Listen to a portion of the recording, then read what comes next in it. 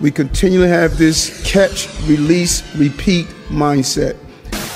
The goal is this continuous battle of making sure dangerous people that are arrested are prosecuted, go through the criminal justice system, and off our streets. It's taking too long to sentence dangerous people.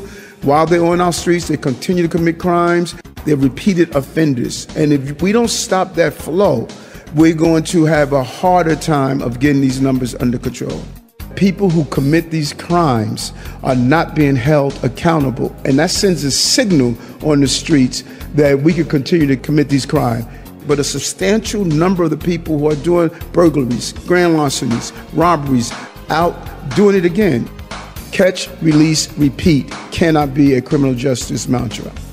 But I cannot be clearer. My responsibility, and we will get crime under control.